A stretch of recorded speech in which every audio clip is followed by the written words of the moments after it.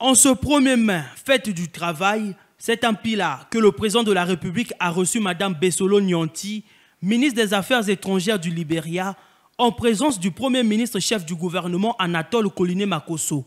Cette rencontre qui illustre le désir partagé de consolider les liens d'amitié et de coopération entre le Congo et le Libéria a été l'occasion de faire un tour d'horizon des sujets communs aux deux États.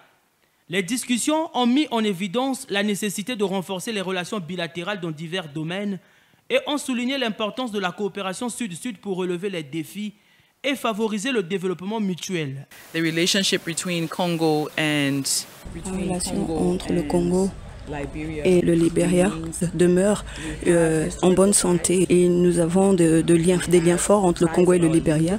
Nous avons des liens dans nos descendants et que nous devons renforcer notre bonne relation.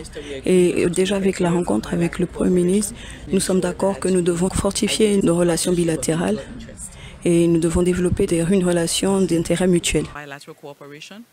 Au plus haut niveau, les autorités des deux pays échangent souvent. Et depuis le 24 janvier 2024, le Libéria est dirigé par Joseph Boakai, qui a succédé à George Weah après avoir passé un seul mandat de six ans à la tête de ce pays d'Afrique de l'Ouest.